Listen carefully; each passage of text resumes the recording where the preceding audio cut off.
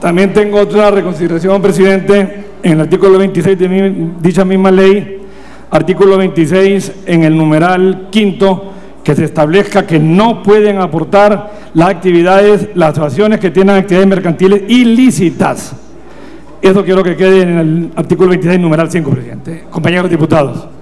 Se le consulta a la honorable Cámara si toma en consideración la moción de reconsideración del acta. Honorable diputado, to- tomada en consideración.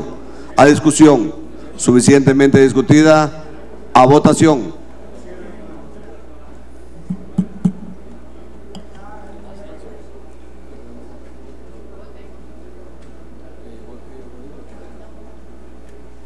Queda aprobada.